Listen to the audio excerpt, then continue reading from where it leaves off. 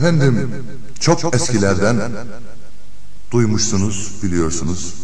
Efsane de olsa bir Köroğlu yaşamıştır. Köroğlu'nun İgitçe hasmı olan Kiziroğlu Mustafa Bey. Derler ki Kiziroğlu aslı nereden gelmedir? Benim öğrendiğime, duyduğuma Kiziroğlu Kars'ın Kiziroğlu köyünden gelip o zaman Kizir anlamını alan Kizir ne demek? O zaman bir bekçiye Kizir derlermiş. Mustafa Bey de güçlü, igit bir baba igit. Gelir Köroğlu'nun yakınlarında bir çiftlik kurar. O zaman Köroğlu o asıra göre çok sevdiği, yanında bulundurduğu Ayvaz delikanlıyı evlendirecek. O zaman gelin tacı yok. O zaman gelin taclarını turnanın kanatlarından yaparlarmış. Köroğlu kır atını biner. O zaman amcası der ki Köse Kenan Köroğlu nereye gidiyorsun? Ayvaz'ın gönlünü almak için Ayvaz'ın sevgilisine bir taç bulmak için gidiyorum. Nereye? Kiziroğlu Mustafa Bey'in bağından turna tellerinin kanatlarını getireceğim. Köse Kenan güldü. Köroğlu korkuyorum.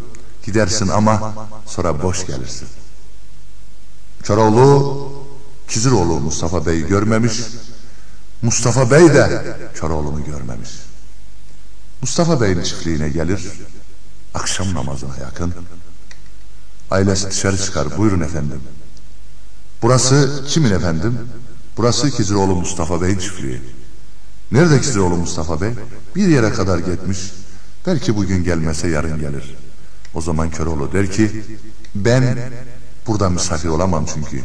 Erkeği bulunmayan bir yerde misafir olamam. Olmaz. Kendisi yoksa evimiz var. Buyurun. O zaman Köroğlu bakar ki bir yedek bina var kenarda. Kimin bu? Efendim Kiziroğlu Mustafa Bey'in çok sevdiği alapaça atın bağlandığı yer. Ben burada kalırım. Derdi Kiziroğlu Mustafa Bey görmeden turnanın kafesini açıp turna kanatlarını gizli götürmek. Köroğlu o gece kalır orada. Uyumadan sabah erkenden kalkar. Turnanın kafesini açar. iki kanatlarını da alır.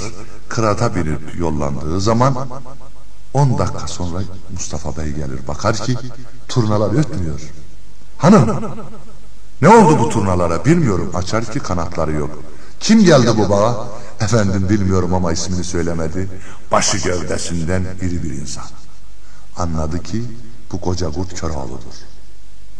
Derler ki Kırat'ın en çok korktuğu Kiziroğlu Mustafa Bey'in atı Alapaçat'tan çok korkarmış.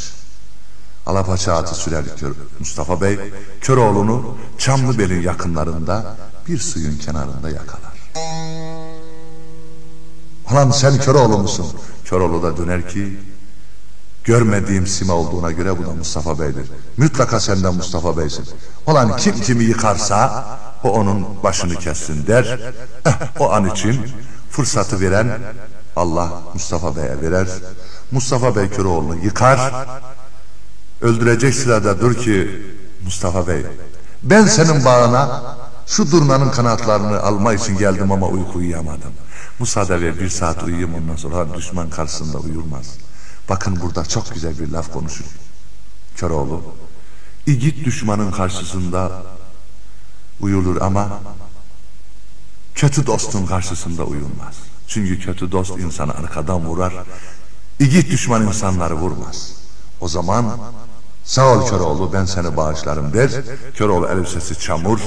7700 keleşin karşısına gelince ailesi Gülnigar sorar. Ne oldu Köroğlu?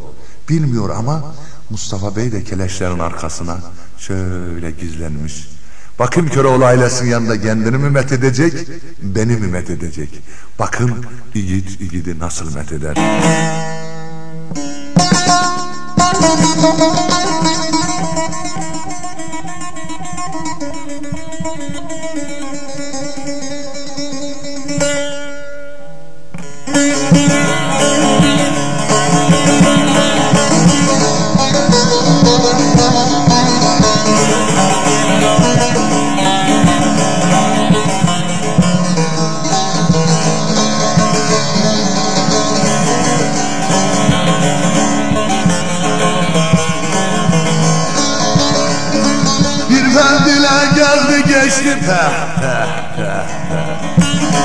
Gidiyor oğlu Mustafa Bey hey hey hey. Kış mı dalı geldi geçti. Allah'ım kim, başam kim, nigar kim, gözüm kim, kanım kim, kim kim Züroğlu Mustafa Bey, bir beyin olur, zor beyin olur Züroğlu Mustafa Bey, bir beyin olur, zor beyin olur.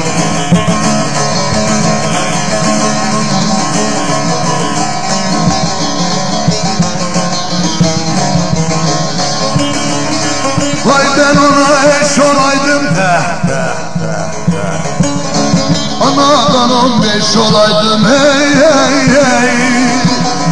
Keşke onunla kardeş olaydım Alan kim, paşam kim, nigar kim, kanım kim, canım kim, ayvaz kim, kim? Kim Züroğlu Mustafa Bey, bir beyin olur, zor beyin olur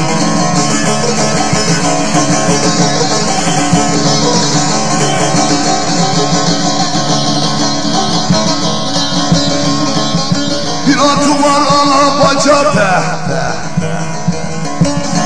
Becel vermez durat maça hey hey hey. Az kaldım ortamdan biter Alam kim, paşam kim, nigar kim, kanım kim, kim kim? Züroğlu Mustafa Bey, bir beyin olur, zor beyin olur